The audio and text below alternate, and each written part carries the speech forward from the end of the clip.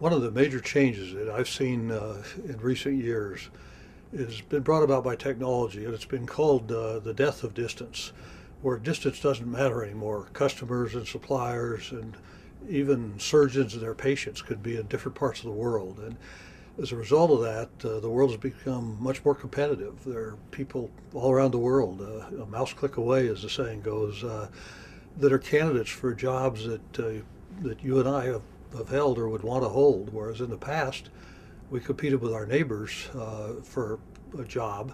We now compete with people all the way around the world. And the U.S. is at uh, a rather serious disadvantage in the other developed countries.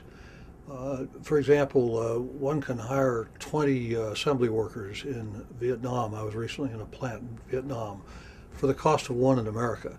You can hire uh, eight engineers in India or five chemists in, in China uh, each for the cost of one in America. And so, if America is going to compete for jobs, and that's what I mean by competitiveness, uh, can we compete for jobs?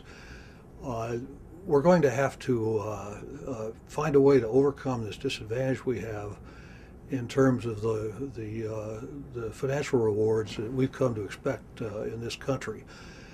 And there there's probably only one way we're going to do that, and that's by being more innovative and uh, quicker to innovate, uh, which to me means uh, investing in basic research.